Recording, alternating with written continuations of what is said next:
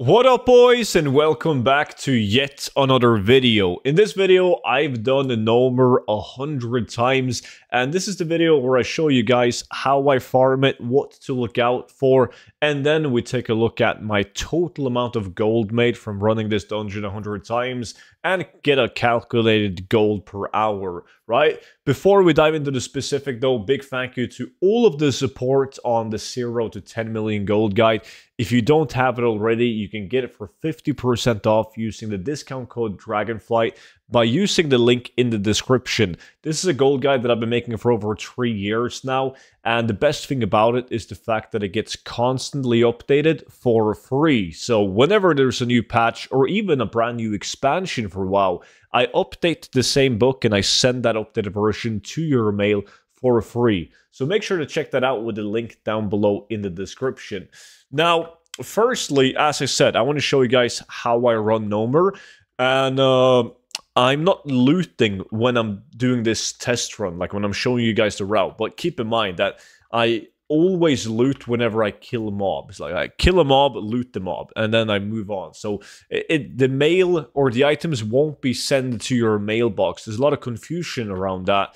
The only loot that gets sent to your mailbox is whenever you kill a boss. Then uh, all the loot from the boss will be sent to your mailbox. But whenever all of these mobs that I'm killing, the trash mobs, won't be sent to your uh, your mailbox. First thing of importance is when you reach uh, this area right here, this chest will always be up. Sometimes it's a locked chest, and sometimes it's going to be uh, an unlocked chest like right now. But it has a hundred percent chance of of spawning, so I always loot that chest before I jump further down. Make sure to kill all of these mobs uh, one uh, pro tip on these is you don't need to. Uh, you can kill the mobs like up here on this uh, this level, and then you can AOE loot like all the mobs downstairs as well. So uh, it's a lot faster to just run either upstairs or downstairs and just kill the mobs with ranged abilities and AOE loot all of them. And next up on this one this uh this guy right here the peacekeeper mob you want to make sure to kill all of those because they can drop one of the new shields that was uh, re-implemented in patch 10.17 so i always kill those because usually or previously i would go right up this ramp and kill uh, the boss. But now this patrolling peacekeeper might be at the other end right here. So you do have plenty of time to go all the way over and kill this pack as well and then just run back to the boss. And it's also not necessary to kill the boss. You can also jump down. Uh, but if you struggle with taking a lot of fall damage, you can pick up the parachute right here. So when you jump down to the next level, you can pop the parachute to uh, reduce your fall damage. But not a not a big issue for most people. That one right there.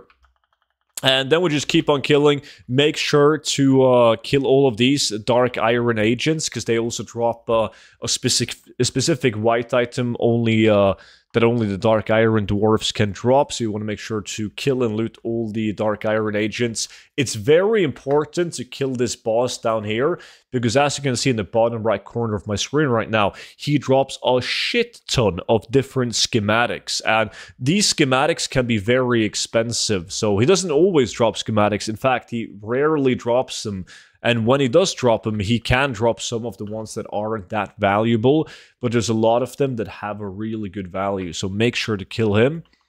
Uh, run upstairs, kill more of these Dark Iron agents. If you're really fast, you can also go to this other side and kill those Dark Iron agents as well. There's a lot of people who don't like Gnomer because there's so many ways that you can go. It seems like a maze, but once you have it down and you found the route uh, that you like, it's uh, it's a really fun dungeon because that brings me over to the next topic that we're going to talk about like why would you farm Gnomer we already talked about some of the items that you can get the new shield being brought back to the game.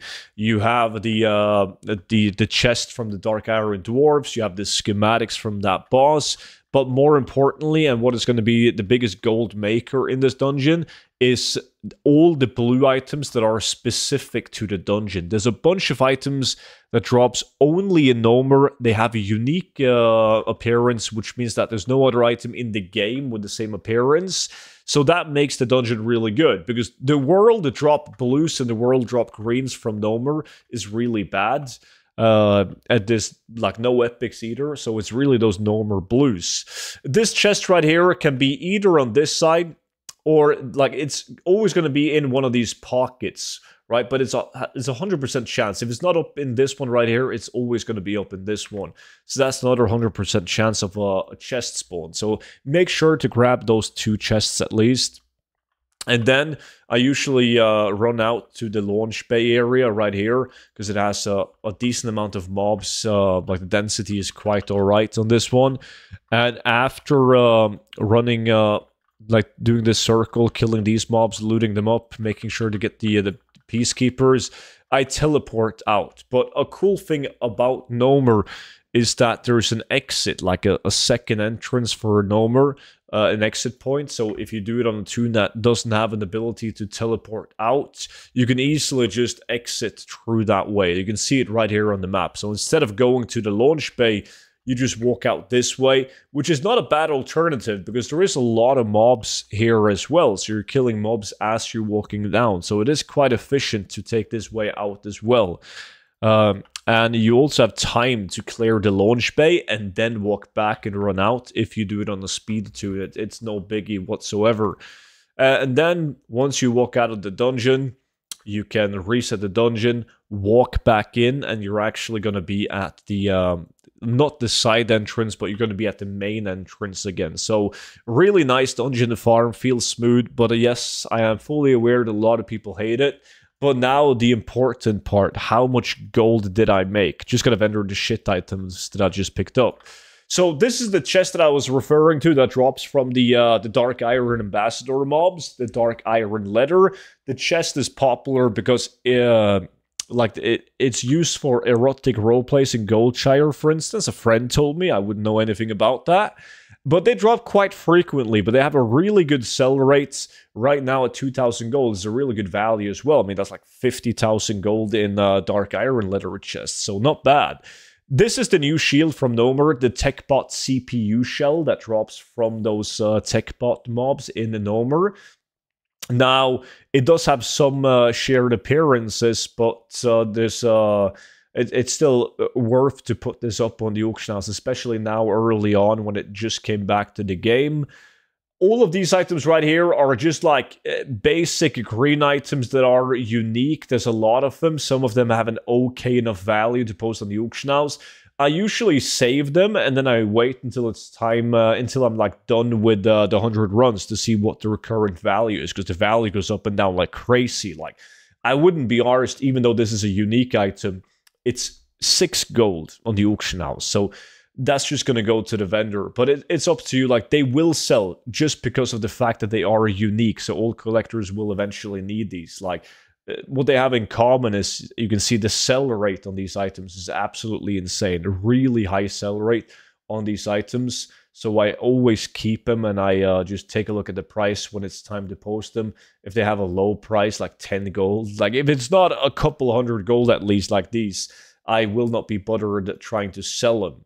Other than that, these are the blue items that I got from Gnomer. The uh, biggest items you can get is you can get the uh, the mech builder's overall, which has the same drop rate and kind of feels like a Jinsu from Uldaman. It's a really rare item, but it's not a super item. That has a market value of like 300,000 gold. You can also get the Trudgers and the Hotshot Pilot Gloves, which are super items in Uldaman. Really hard to get, like super hard to get. Didn't get any of those though, but I got a bunch of the weapons. I got double power hammer right here. Bad price of my realm. Don't look at that. I play on a full pop. I got double supercharged battle axe. Once again, not the best price of my realm. The Gizmotron Mega Chopper right here, I got four of those. It's a decent weapon. My price is below the reach and sales average though, so that's really bad. This weapon right here is quite alright. It's the Vibroblade, also a unique item. Uh, then I got double gun, the high-tech super gun. And I got myself one pair of petrol spill leggings. When it comes to patterns, plans, schematics, uh, you know, everything else, uh, I got the uh, this uh, Discombobulator Ray from that boss. I got myself the flash bomb from the boss. And I got myself a Shadowhood, which is a world drop item, but it's a it's a decent one. I also got the gnomish cloaking device from the boss, and uh, I got this Guardian belt pattern, which is a world drop. This strong anti venom has a decent sell rate. Uh, it's uh, also uh, a world drop, so I saved that one too.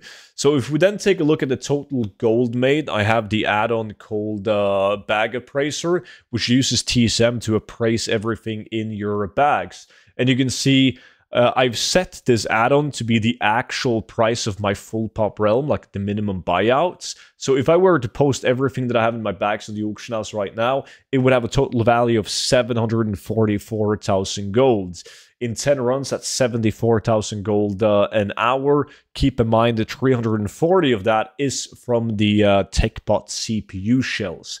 Now, if you think that my price, my realm has high prices, definitely not the case. If I switch this one over to uh, the region market value, the average price across every realm in EU, it is almost 2.7 million gold in my bags because everything is higher. Like the average price across the entire EU is a higher price than what it is on my full pop realm with uh, shitty values. Anyways, though, that was pretty much it for uh, loot from 100 Gnomer runs. And if you guys got any suggestions on uh, what I should farm uh, next, which dungeon, open world farm, whatever, let me know down below in the comment section. Subscribe if you found this video um, entertaining, and I will see you all back in at tomorrow's video. But until then, bye-bye.